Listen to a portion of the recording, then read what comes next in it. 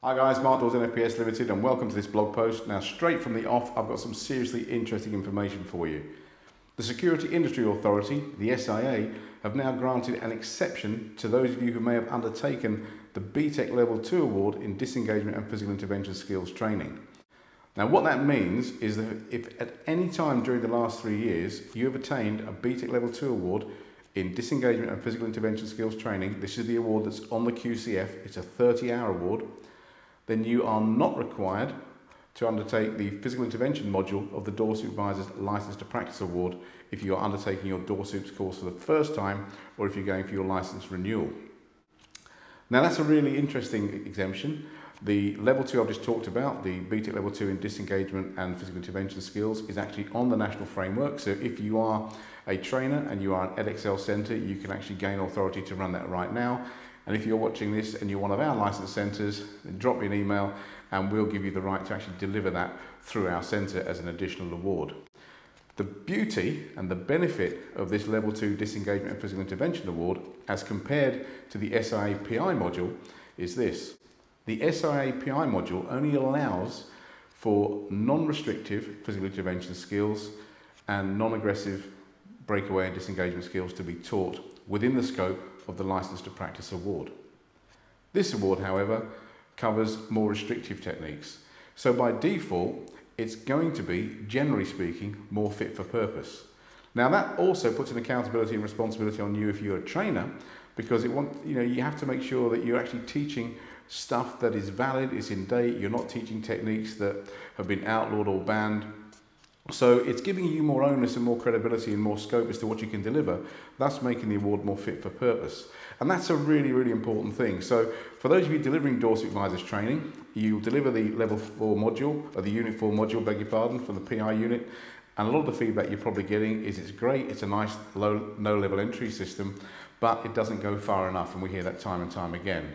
And as the SIA have said time and time again, if you are an employer of door supervisors or you own a venue and you are engaging door supervisors on a contract or subcontracted basis, then you have to make sure that if it's required, that top-up training is provided. But where do you go for top-up training? You can have some people teaching really good stuff and you can have some people teaching really mad stuff. The beauty of this award is it is an award that's on the national framework, it's written to a national standard, and of course all the other accreditations go with it. So not only will it deliver what's required for licensing, it's also a good top-up award and therefore more fit for purpose. And that brings me on to the next point. And by the way, before I go on to the next point, if you click below this video, you can go to our webpage and find out a lot more about this Level 2 award in disengagement and physical intervention skills training. And as I've already said, if you're a licensed centre, get in touch and we'll give you the license to run it. No problem there whatsoever. Now, this brings me on to the next point, and that is something called striking the balance. And you may have seen this it's a document that you can get off the HSE website called Striking the Balance.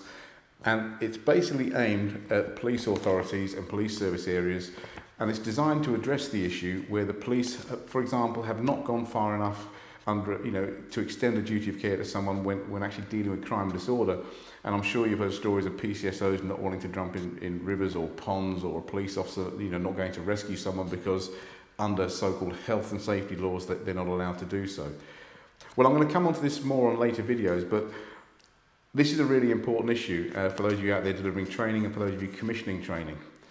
Technically speaking now, and you may have heard this in the press and you've seen it on blog posts before, the police are now basically not going to attend to calls from assistance from A&E departments and mental health units. And we've had a lot of trainers and a lot of agencies already contact us about this for advice and guidance as to what they need to do.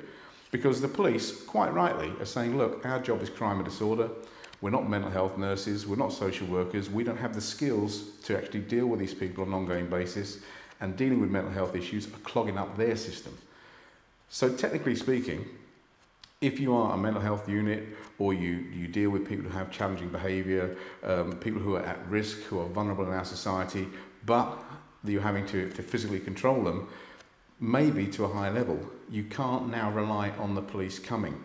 Because under this striking the balance remit, if it is foreseeable that you're going to have to restrain someone and that is beyond the scope and your capabilities, then you need to actually deal with that as an organisation. You need to train to a higher level or you need to get additional equipment in.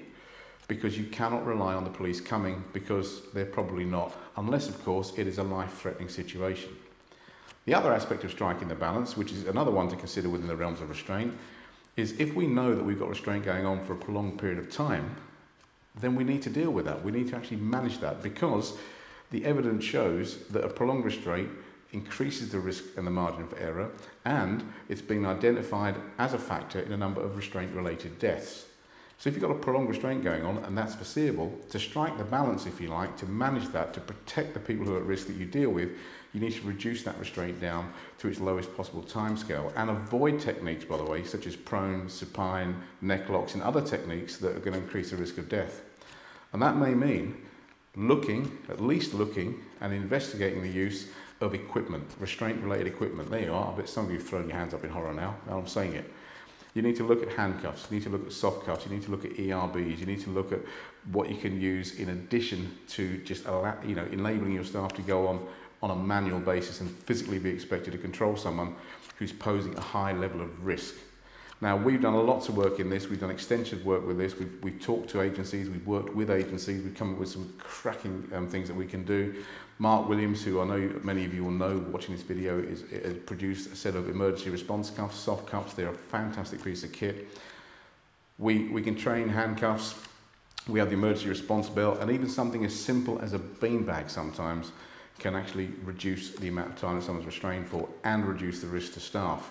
So what I'm saying to you is, is if you are looking, genuinely looking at a minimizing restraint strategy, so you are aiming to reduce restraint, which is what a lot of government departments are now striving for, and they expect you to do the same, that it's not just about reducing how many times you restrain per se, it's also about reducing the amount of time you restrain for, and under health and safety, if you're striking the balance, it's about reducing the overall risk. Therefore, that means looking at additional equipment. Now, I'm going to come back to this on, on, on blog posts later on. I'm going to give you a lot more information on this because it is quite a serious issue. Um, as I've said, government departments are looking at this and inspectors should be coming out um, uh, to look at what we're doing. Uh, to look at what you're doing, should I say. Sorry, excuse me on that one. Uh, in terms of your overall restraint reduction strategy. But that's all for now. Uh, as I've said to you before, there's a link below this to the exclusion from the from the SIA regarding the disengagement and physical intervention skills training module. And if you want to know more about that, drop us a line, pick up the phone, drop me an email, be happy to hear from you. Thanks ever so much for listening.